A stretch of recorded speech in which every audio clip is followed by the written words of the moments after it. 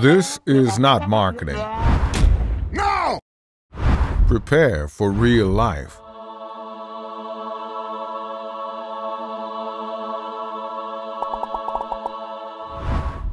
My name's Reynolds, and I've actually been coming to AMA for a number of years now for a variety of treatments, but my most recent engagement was a result of a uh, skiing injury that occurred. I hyperextended my left knee, which had previously suffered an ACL tear and also meniscus damage, and from that point forward, I knew something was wrong with it again.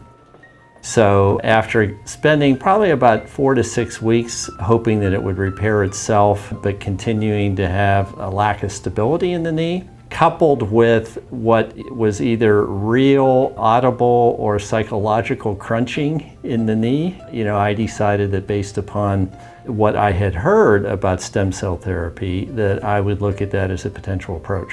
And so after having a conversation and doing my own research, independent research, came to the conclusion that that was a very rational approach to it. And so at this point, about five weeks ago, I had stem cells as well as ozone injected into my knee.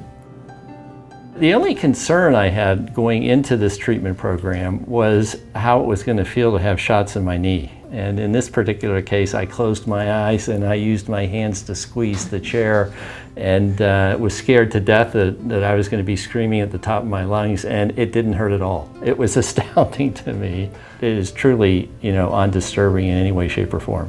And I can tell you that within literally days of having the stem cells put in there, I, I could feel as if it was beginning to repair itself and that has progressed on a regular basis since that time. And so I would say at this point in time, after five weeks, and certainly not completely through the benefits of the stem cell as well as the ozone therapy, that it's at least 95% of where it ought to be. And so I believe that this whole use of stem cells and ozone and other regenerative therapies is the future of medicine, and that it's really going to revolutionize the way in which people approach treating injuries throughout their body.